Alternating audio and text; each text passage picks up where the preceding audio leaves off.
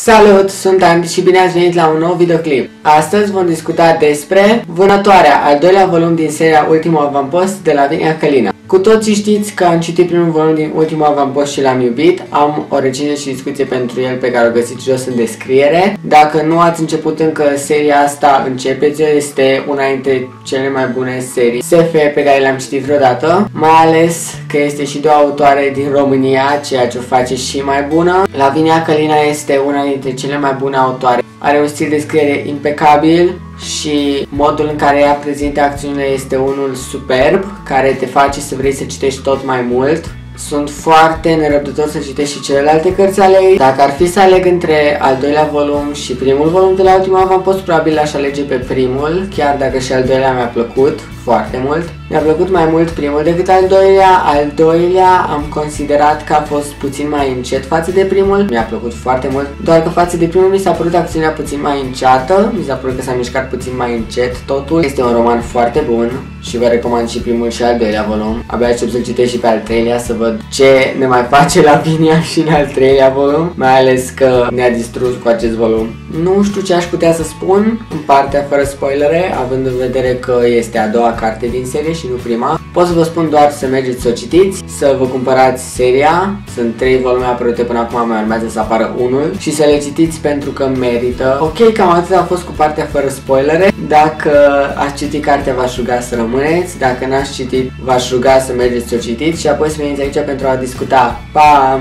Mi s-a părut că în primul volum s-au întâmplat mai multe decât s-au întâmplat în acest volum, adică s-au întâmplat multe și în acest volum, doar că pur și simplu primul volum a fost mult mai rapid decât acest volum. Oricum, iubesc toată seria asta și tot ce face la Vinia din ea este impecabil. Volumul începe cu misiunea asta a lui Diane și a lui Elise, cred că Elise o cheamă, pentru a lua informații despre rutere pentru că acum Diane a ajuns în avampost, începe să-i ajute pe aceștia din Escu.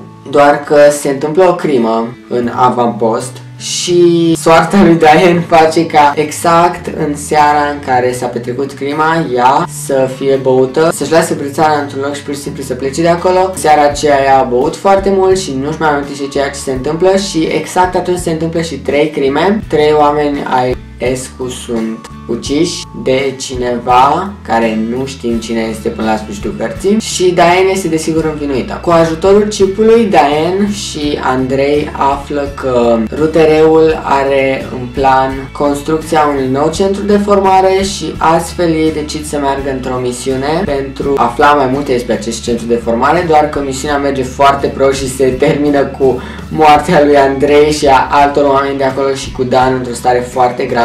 Mine m-a șocat foarte mult moartea lui Andrei pentru că nu mă așteptam să moară, mai ales că dacă vă amintiți din celălalt videoclip despre ultima post am zis că e și pus pe Diane și Andrei, doar că aparent Andrei e mort acum, deci nu mai are rost acel ship. Cred că până la urmă Diane și Dan vor fi împreună, mai ales având în vedere că acum Sara e moartă la sfârșit și a fost ceva gen fac moartă, nu a fost nimic care să-mi aducă în pragul lacrimilor și nici măcar moartea Sarei pentru că mie nu plăcea foarte mult de Sara, aproape deloc nu plăcea de Sara, nu era unul dintre personajele care să-mi placă, doar că sper să nu mai omoare pe nimeni. La Lavinia, te rog, nu mai omoare pe nimeni pentru că nu vrem să trecem prin chinuri de astea groazice, mai ales pe Diane, să nu omor pe Diane. De asemenea, în acest volum aflăm și de recrutarea Anei, aflăm povestea reală și ne dăm seama că amintirile Anei chiar au fost bune, chiar Diane a fost cea care a recrutat-o, doar că toată treaba asta de fapt altfel, pentru că Diane a încercat să salveze pe Ana, pentru că Ana avea sindromul Down, iar operațiile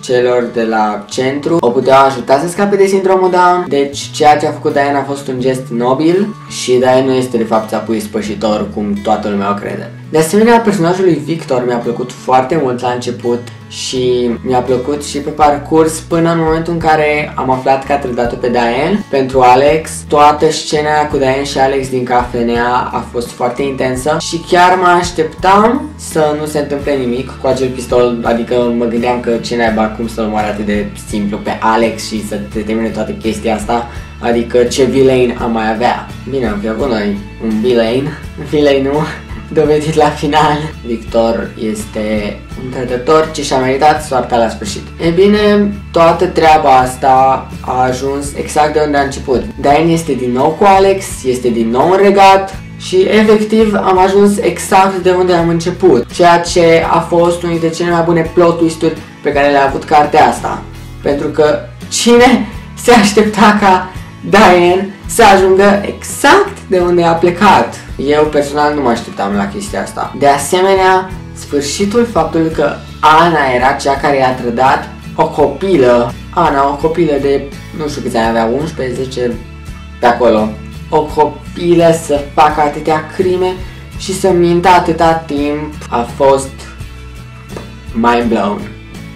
Efectiv, am fost șocat, am rămas fără cuvinte pentru că nu mai știam efectiv ce să cred. Adică cum o copilă să facă toată treaba asta, a mințit atâta timp, a stat în avampost și a luat toate informațiile posibile. Un copil să facă chestia asta Ăsta a fost cel mai bun plot twist făcut de Lavinia Felina încă de când au început cărțile astea. Ăsta și cel de acum cu Diane înapoi la Alex.